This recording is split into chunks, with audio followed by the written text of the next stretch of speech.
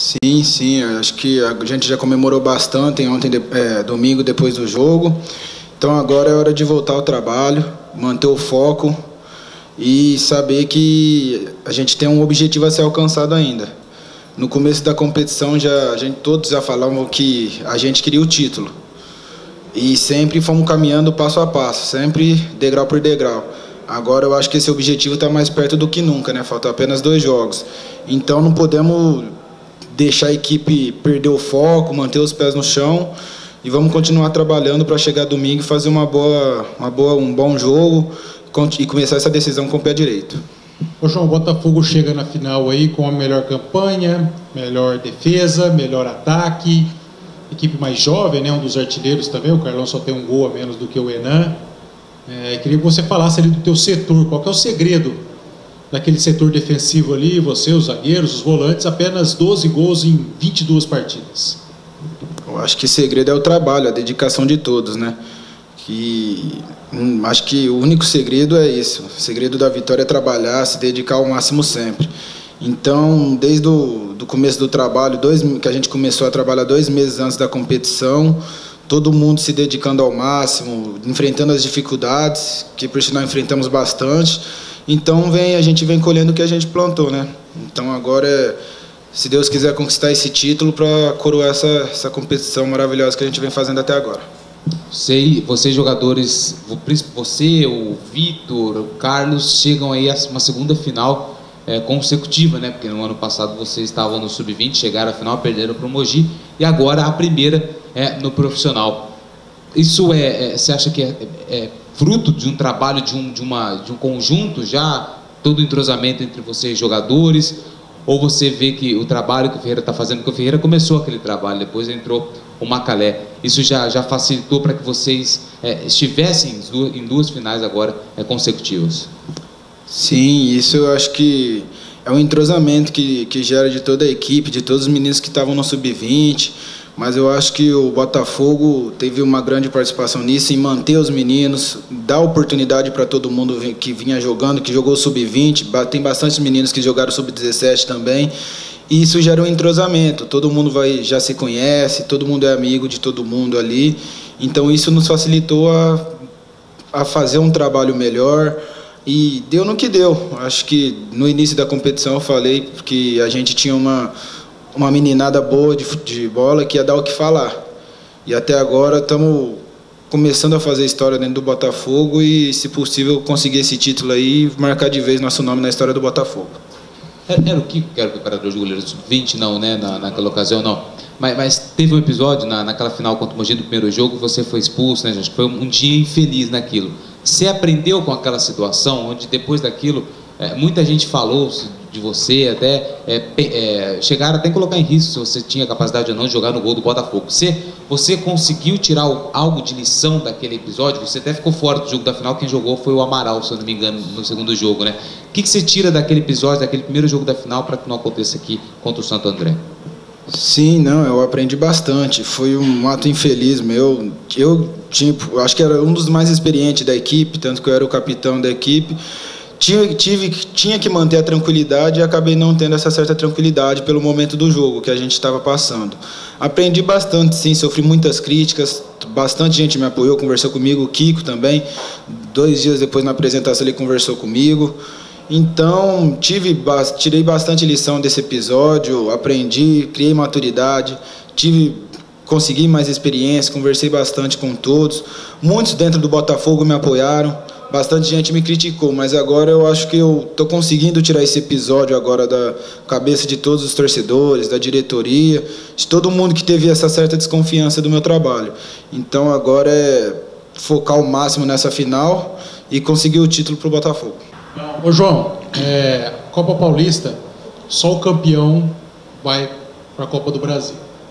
Como é que é encarar essa final aí sabendo que todo o trabalho na vista do torcedor, eu falo, pode ser jogado por água abaixo, né? Caso o título não vire, qual que, que, que você acha que o Botafogo tem que, tem que aproveitar nessas duas finais? Jogar em casa a segunda partida é importante. Essa questão aí de, para muitos, só o título valer.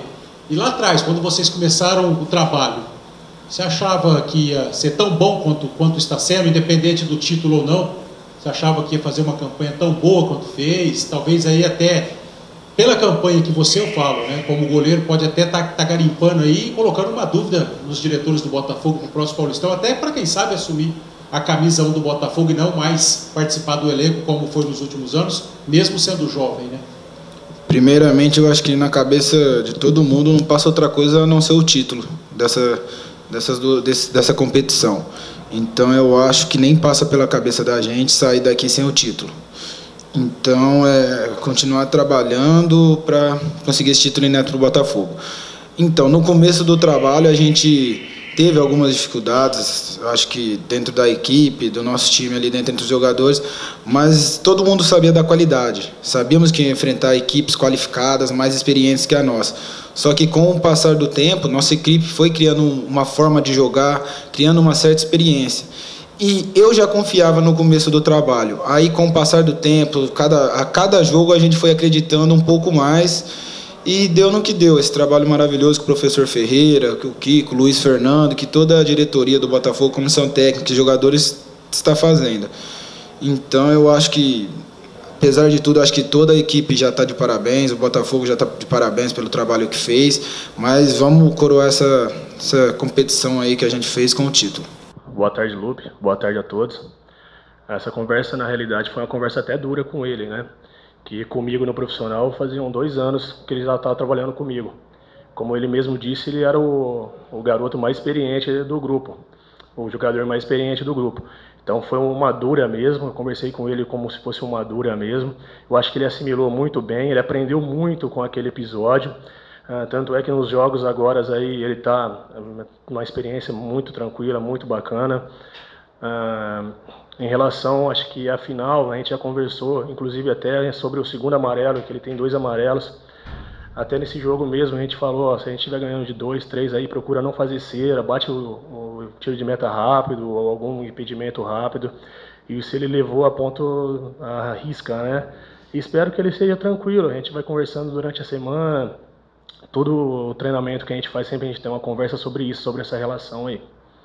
Esse título da Copa Paulista principalmente para você, para o Scout que está aí, para o Paião, pode vir para coroar um ano para o Botafogo, principalmente para você que são profissionais do clube, por tudo aquilo que vocês passaram naquele Campeonato Paulista, onde o time fez uma melhor campanha, foi eliminado de forma precoce do, do, do, com o Ituano, onde, é, na minha concepção, o Botafogo tinha mais time do que o Ituano. E agora vem para coroar um 2014 em que o Botafogo aí, principalmente na mão de vocês, teve um ano bom. Eu acho que para todos, né? Acho que até próprio para o Ferreira, que teve essa oportunidade de assumir o time profissional, eu acho que com certeza esse título aí vai dar uma, uma estabilidade na nossa carreira imensa. Tanto para mim como para o Scout, que faz dois anos que está no profissional também, para o Luiz Fernando, que já faz cinco anos, foi campeão da do Copa do Interior, né, do, do futebol interior. Então eu acho que isso daí vai coroar com certeza a nossa carreira aí para sempre, né? Primeiro título da nossa carreira no profissional. Kiko, faltando apenas duas semanas de trabalho nesse ano, dois jogos decisivos, duas finais. O que, você vai trabalhar essa semana com o João? Mais essa parte psicológica até para ele não tomar o cartão nesse jogo, né? Não ser suspenso. Que, que, tipo de trabalho você vai ter nessas duas últimas semanas? E está satisfeito com o trabalho dos três goleiros, vamos assim dizer? Três jovens goleiros, né? Muito. Estou muito satisfeito com os três, que nem eu sempre falei em todas as entrevistas que eu dei. Acho que o meu trabalho é demonstrado através deles. E o Thales estava no Sub-17, o Otávio, quando teve a oportunidade de entrar, mesmo um jogo contra o União Barbarense, ele entrou, foi legal. Uh, o João, a gente não tem nem que discutir, não tem nem que falar do campeonato que ele está fazendo. Eu estou muito satisfeito. O trabalho durante essas duas semanas, eu assim, a gente sempre trabalha simples, trabalha sério, é né, um trabalho honesto. A gente vai trabalhar cada dia mais, a gente trabalha forte. É lógico, está faltando duas semanas para o término da temporada. Se Deus quiser terminar com o título, eu acho que eu não vou assim exagerar em termos de trabalho. A gente sabe o que tem que ser feito, o que já foi feito já durante o ano todo, não só durante essa essa temporada do campeonato da Copa Paulista. E os meninos estão tranquilos, estão trabalhando sério, sabe que já tem que ser, na hora que está ali dentro do gol, tem que fazer. O que, que você também estuda, ajuda a comissão técnica a estudar o goleiro adversário, o goleiro do Santo André, para ver é, tipo, penalidades, é, penalidades, qual canto ele, ele pula mais? Você também tem essa função ou fica mais a cargo do scout para trazer todos esses dados? A gente trabalha em conjunto, né? Uh, o scout ele que corre atrás mesmo disso daí, a função é dele mesmo, mas toda ajuda que a gente vê algum algum site, alguma algum vídeo, alguma coisa assim, a gente passa para ele para ele fazer o análise completo.